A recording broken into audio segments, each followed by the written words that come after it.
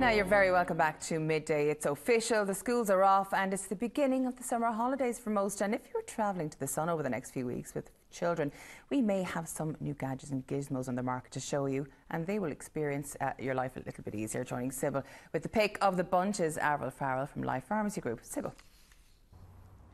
That's right, Elaine. we want to get everybody into the holiday mood this morning. Whether you're going abroad or having a staycation, we have some gadgets and gizmos here, Avril, that are just literally new to the market that'll help yeah. parents. Mhm. Yeah, so I suppose we're just going to start with BubbleBum. So BubbleBum is an inflatable car booster seat, basically that you can inflate in a matter of seconds. It has a lovely little nozzle here, um, and basically you can just deflate it just as quick. It comes in a choice of colours. Um, it has these cute little bags here as well that you can take. It's a really a great little travel essential for parents going away that they can pop it into their handbag. Or So if you had to rent a, um, um, a car seat, if you were in Spain or somewhere like that, it would probably be a, a few euro Absolutely, a day. you're probably looking about seven euro a day to rent. So I mean, again, you're it is an investment. You're saving about forty quid a week. So I mean, it's absolutely fantastic. And this was invented by an Irish woman. Was she on Irish Dragon's lady, Den? Um, she's a mum, Grainne Kelly. She's uh, she's absolutely fantastic. Um, and she's basically launched this product in the states, doing really well.